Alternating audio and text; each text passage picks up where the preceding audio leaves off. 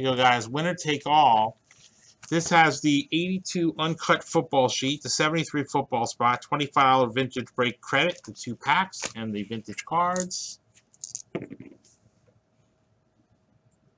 And that's eight. Yeah, man. I need a little break. I'll get it. Tomorrow's Friday. Three. Four. Five. I think it would have been good if I didn't have to drive here from home today. That was a good two and a half, three hours with the traffic. Chris T.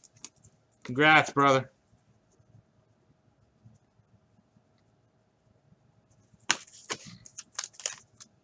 Chris is the winner here. So I guess they're wrapping up. So the um, fifty dollars snapper. All right, I'll do that in a minute. I'll do Okay. that. Okay.